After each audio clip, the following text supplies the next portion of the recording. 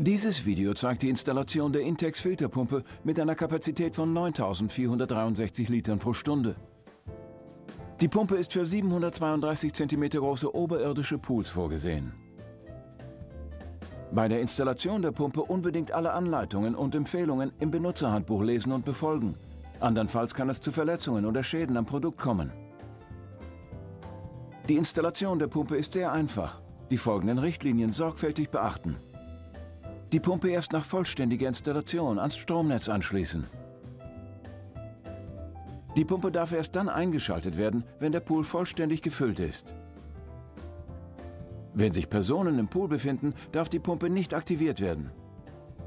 Die Filterpumpe muss ohne Verlängerungskabel an eine Steckdose anschließbar sein.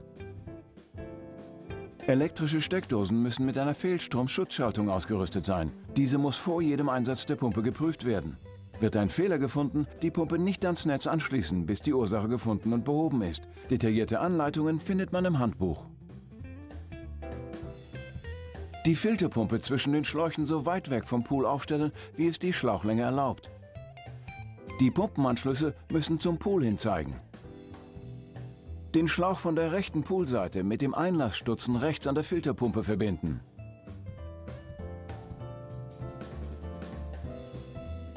Und den Schlauch von der linken Poolseite mit dem Auslassstutzen links unter der Filterpumpe verbinden. Die Schläuche mit den Klemmringen sichern. Prüfen, ob alle Verbindungen fest verschraubt sind.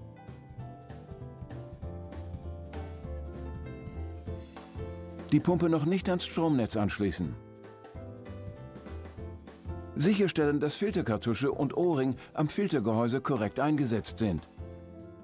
Dann das Entlüftungsventil auf der Oberseite des Filtergehäuses öffnen. Den Filtergehäusering durch Linksdrehen entfernen. Und die Abdeckung abnehmen. Die Filterkartusche herausnehmen und sicherstellen, dass sich der O-Ring im Gehäuse befindet.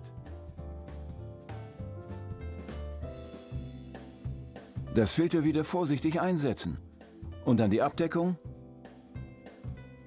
und den Gehäusering wieder anbringen. Der Ring darf nur von Hand festgezogen werden. Die Entlüftungsventile vorsichtig festziehen und prüfen, ob das Sedimentventil auf der Unterseite des Pumpengehäuses geschlossen ist. Die Pumpe so weit vom Pool entfernt aufstellen, wie es die Schlauchlänge erlaubt.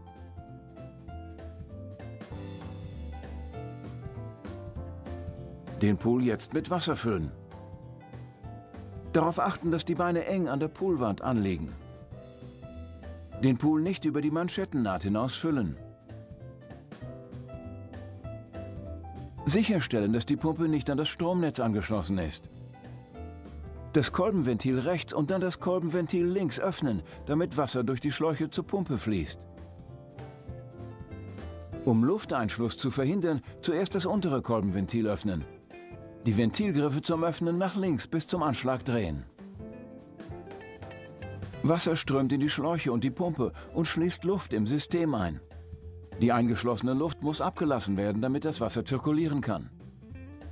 Die Entlüftungsventile auf der Oberseite des Filtergehäuses und der Oberseite des Pumpenmotors öffnen. Die Schläuche leicht schütteln, um alle eingeschlossene Luft freizusetzen. Wenn Wasser aus den Entlüftungsventilen auf Filter- und Motorgehäuse austritt, diese wieder schließen und von Hand festdrehen. Detaillierte Anleitungen zum Entlüften findet man im Handbuch. Die Pumpe nun an eine FI-Steckdose anschließen. Wenn die Pumpe einen FI-Stecker besitzt, diesen vor jeder Inbetriebnahme gemäß den Anleitungen im Handbuch testen. Bei Auftreten eines Fehlers darf die Pumpe nicht verwendet werden. Das Stromkabel vom Netz trennen, bis der Fehler gefunden und behoben ist.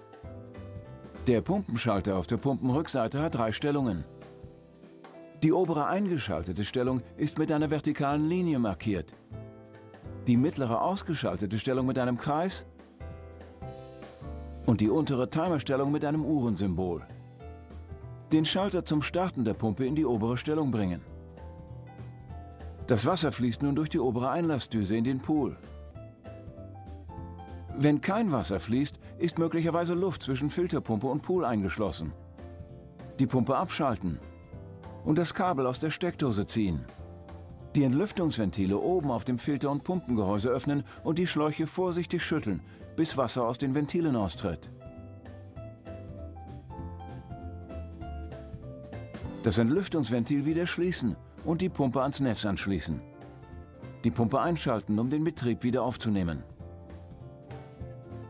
Mit dem Timer kann die Pumpe täglich zur gleichen Zeit für eine bestimmte Dauer automatisch eingeschaltet werden. Dazu den Timer mit dem Drehregler auf die gewünschte Stundenzahl einstellen. Die Tabelle im Handbuch gibt an, wie lange die Pumpe für eine bestimmte Poolgröße in Betrieb sein muss. Den Schalter zur gewünschten Einschaltzeit in die untere Timerstellung bewegen. Solange der Schalter auf Timer steht, wird die Pumpe jeden Tag zur gleichen Zeit für die am Drehregler gewählte Zeitdauer eingeschaltet.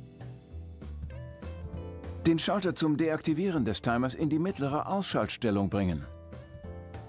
Die Filterkartusche reicht für etwa zwei Wochen effektives Reinigen. Danach prüfen, ob sie ausgetauscht werden muss. Vor der Filterprüfung den Wasserfluss durch das System unterbrechen. Die Kolbenventile durch rechts drehen, bis an den Anschlag schließen.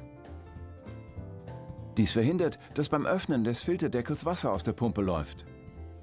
Das Lüftungsventil der Pumpe öffnen. Den Gehäusering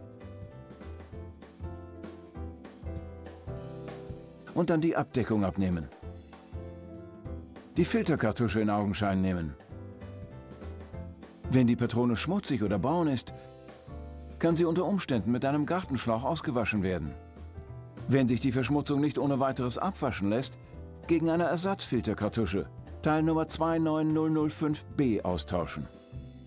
Bei ordnungsgemäßer Pflege und Wartung sorgt das Filtersystem auf Jahre hinaus für sauberes und frisches Wasser.